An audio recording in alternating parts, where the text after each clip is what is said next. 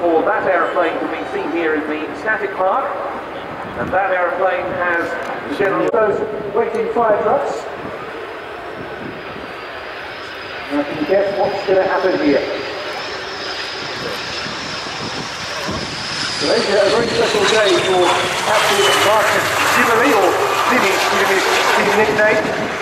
He was born, uh, like me, on my birthday, about 33 years ago. And uh, he has flown with the team since 2004 in positions 3, 5 and 6 total some uh, two and a half thousand flying hours on the F/A-18 Hornet F5 Tiger, from the PC-7.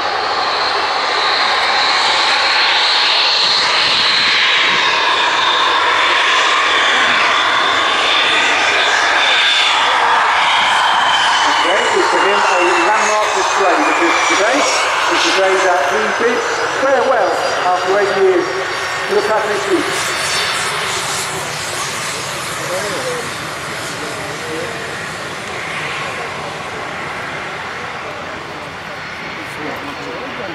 farewell send there from